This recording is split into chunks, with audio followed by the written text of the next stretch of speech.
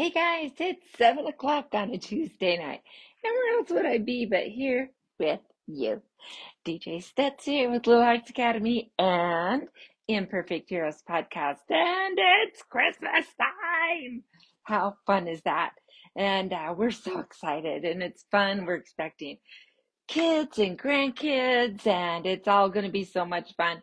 And it can get so chaotic at Christmas time, can't it? Because it feels like there's just so much to do, right? And so this week, though, we're talking about episode, what number? 128, 128. Is that crazy? And we're talking about six keys to help you just unravel all that holiday chaos. And so I'm not going to go over all six keys here because that's what the podcast is for. So I hope you'll listen to it and um, enjoy it. But I just want to talk to you for just maybe a few seconds about just thinking about the challenges and the stress that comes along with the holiday. It's so sweet and it's so endearing and it's just so lovely. We look forward to it all year long. Like starting January 2nd, we start thinking about the next year, don't we? And um, so we really want to make it a time that we enjoy as well as the kids. And, but I think too, we want to make sure, let me see if that maybe doesn't need to be shining on my glasses, but, um, well, I think we want to make sure that it's a time that, you know, sometimes we put things into a lot of effort into things that the kids really don't care about. And so we want to really think about what we're putting effort into, why we're putting the effort into it. And then, you know, there you've heard of ROI. Anyone in business knows about ROI. That's a return on investment. And so are we getting the return on all the time and the effort that we're putting into uh, different things in, in the holidays? So whether it's parties or cooking or presents or decorating or all of those things, are we getting that return back? Does it really mean the things that we think it means? And so I really want you to talk about or think about all of that. I mean, there's uh, the parties that we go to, and there might be the parties that we host, right? And so really think about those things. Why am I doing this? Am I doing it because I feel obligated? Am I going because I feel obligated? Or am I going because I really want to? These, you know, these are fun. They're involving my kids.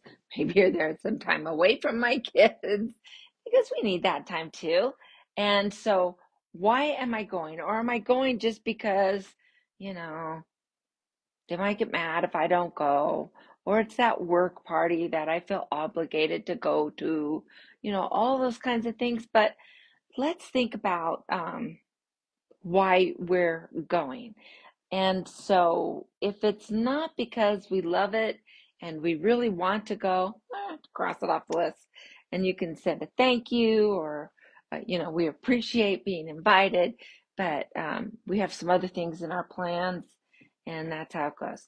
One of the things I do talk about on the podcast, and I'd like to really reiterate it here because, man, it is a game changer, is having a, uh, calendar that you can put up where everyone can see. So you they you can get them there. Well, you can't really. It's not that big, but it's that big. Um, and you know you can dry erase it or whatever. But it's big enough where you can put all the stuff that you're doing so that you can see what am I fitting in to a day. And so, do I have enough time for all these parties? And maybe uh, you want to say, okay, kiddos, I know you've got maybe soccer and hockey and gymnastics and dance and uh, your piano concerts or whatever it is that you've got going on. And maybe we say, okay, we can do one maybe two or whatever. You decide what's right for you and then say which one's the most important for you, right? Yeah. Let the kids maybe talk about designing the uh, decorations you're going to put on outside? Which are the ones that they love seeing? Um, or do you even put decorations up? We never put decorations up when I was a kid. We put decorations up when I was the mom um, because I, I didn't like not having decorations on the outside of my house growing up. Now, one thing my dad did do is we made a family uh, traditional trip driving around and seeing other people's decorations. But that was a fun night for us as a family. It was driving around and we'd go get ice cream. Um, it was Los Angeles. It wasn't that cold. So, but we would drive around and see all of the cool decorations that other people had shown up and, and, uh, and then go get ice cream. But, um, my dad just didn't feel obligated to put up the decorations, but that was for him. That's great. Wonderful. So, you know, really look and see what's going on, what's really important for you, and then maybe even think about uh, the gift giving. Why are you giving this person a gift? Because you feel obligated? Things are tight. Inflation's crazy right now, and uh, the cost of living uh, is just going up. And a lot of times, maybe the money that you saved up for Christmas has been eaten up and just trying to feed family or put clothes on their back or whatever. So uh, maybe you need to reassess on on who you're giving gifts for uh, or giving gifts to, and then how much are you spending on gifts this year, right? And there's always the joy of maybe uh, doing crafts and doing homemade gifts. They're always more personal, less expensive, but then they cost in time. Do you have the time to do it? And so I think this is my thing is if you're going to do homemade gifts, um, you probably need to start really early, like July, and so January. but if you're going to do some homemade gifts, then, you know, really consider starting early. It might be a little too late to do those homemade gifts by the time, you know, well, tonight you're going to see it tonight. But um, so think about, you know, all of those things and decide what am I going to do? Well, lots of good ideas on Christmas chaos and how we can make it more meaningful for us. And so I've got a lot of great ideas, but we had we hit six main keys to help you calm the chaos. Are there more ideas that you can use? Yeah, but you know, do you get overwhelmed by thinking, overthinking how I'm going to calm things down, and then you get overloaded by, ah, how am I going to overload? How am I going to calm the overload? So you know, just do it with uh, an idea of what's really important to me, what is really going to be meaningful to my kids, and what really doesn't matter. and and then be thoughtful about you know when you and your spouse come together, you have ideas that are really important to you. Your spouse really has um, traditions that are important to them. So maybe you're going to like do the mind meld of um, what are some ways that we can make adjustments and maybe bring them together in a way that is a little bit different for each of you, but now they're your own. Or, you know, maybe you give up some, they give up some, um, or maybe just do totally new things but you'll know what to do when the time comes. But try to plan it out ahead of time and think of some things. Now, um, as far as gift giving goes, dun dun dun, dun yes, you can still get Roman is bigger. Yes, this lovely book made uh, authored by me.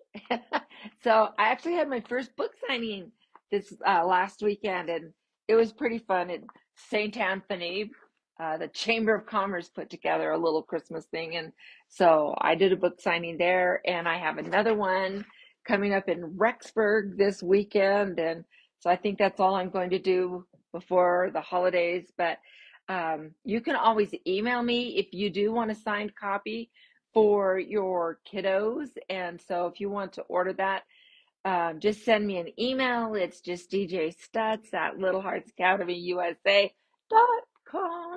And it's only 15 bucks if you want it signed. And just tell me who you want it signed to or if there's anything specific that you want. And I will get that off to you ASAP. So we'll get that done. I'm already working on book two, where Roman finds out that uh, he's going to be a big brother and he's trying to decide is this a good thing or not?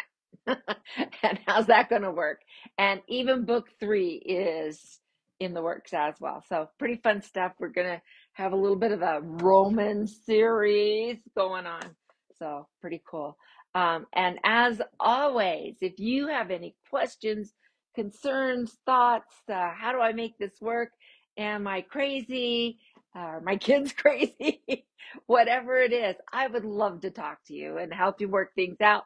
I have fun with my clients and uh, but I also have some great ideas on how to make things work for you. And so you can always get a hold of me on the website www.littleheartsacademyusa.com and we always have some great ideas that are coming down through the podcast imperfect heroes insights into parenting. So i am just making this short today because i don't want to add to your christmas chaos and take up too much time. But i love to all. I'll be back here next week and uh, in two weeks you're gonna want to watch it. So youtube and rumble um, because santa is coming to the podcast. Yes he is on the 18th so mark that on your calendar. You're going to want to watch it on youtube or rumble. So we'll talk to you later. Thank you everybody and let's find joy in parenting. See ya